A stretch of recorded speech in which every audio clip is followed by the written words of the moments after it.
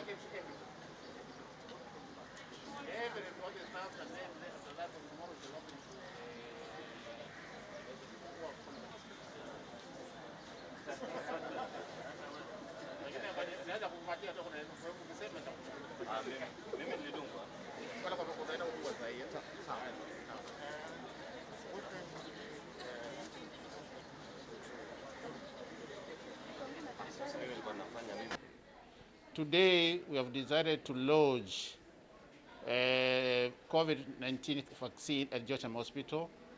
This is the first phase of the COVID vaccine in Kenya.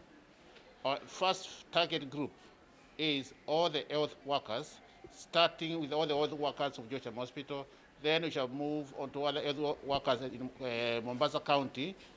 We also we have invited all the teachers, all the people in the police, prisons, uh, in the, as the first ch- chapter.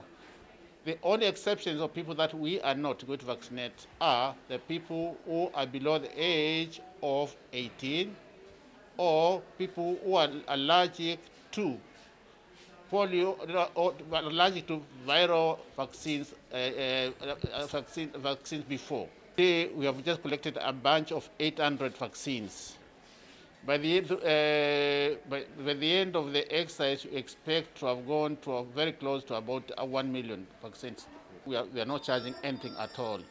So we're inviting people in police, teachers, other health institutions in Mombasa to come and be, be available from 8 in the morning up to 5 in the evening every day over the week.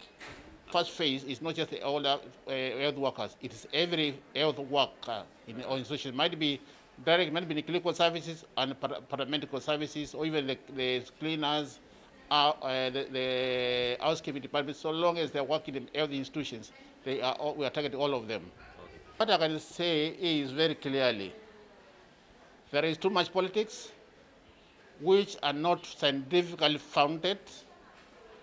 A lot of research, uh, there, there, there is, there's, there's, there's research which has been done. There were two cases which had uh, blood clot formation.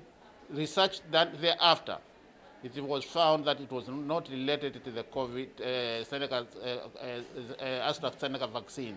And therefore, I urge everybody to come without no fear. This vaccine is a game, a, a, a- game changer to the treatment and the prevention of, of uh, COVID 19.